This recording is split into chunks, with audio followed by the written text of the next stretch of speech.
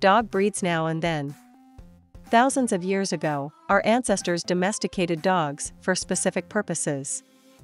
These early breeds, such as the Saluki or the Akita, played vital roles in hunting, herding, and guarding. Their traits were carefully preserved through selective breeding.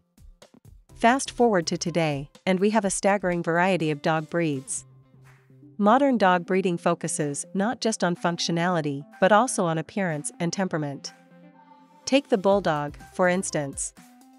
In the past, they were bred for bull baiting, resulting in a more aggressive and muscular dog. Today, bulldogs have been bred for a milder temperament, making them excellent family companions. The German Shepherd, originally bred for herding, has become one of the most versatile working breeds, excelling in police, search and rescue, and service dog roles. Golden Retrievers, known for their friendly nature,